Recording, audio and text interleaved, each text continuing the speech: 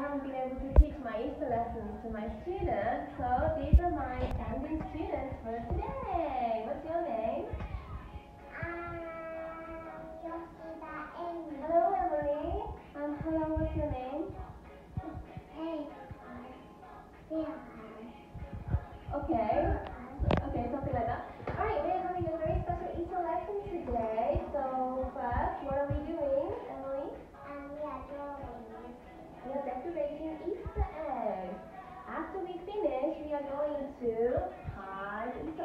is going to hide eggs around the school. Then we will find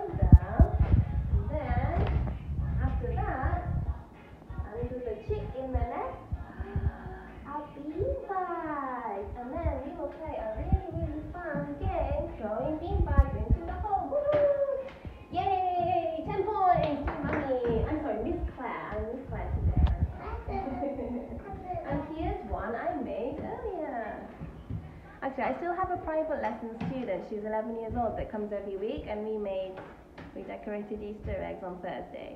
It kind of rubs off a bit, actually, if this is right. But anyway, happy Easter!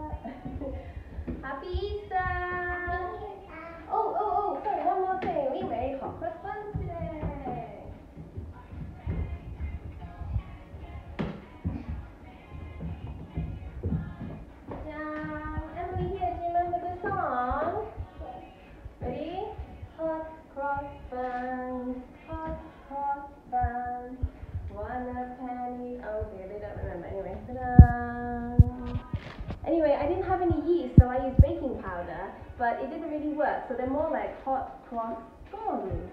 So we cut them and we, and we put jam in, and I put honey in. Yeah. Daddy was singing this song, Daddy, Daddy always said hot. What did he say? Hot crust buns. Yes. we'll work on that, won't we? There we go. He's popcorn.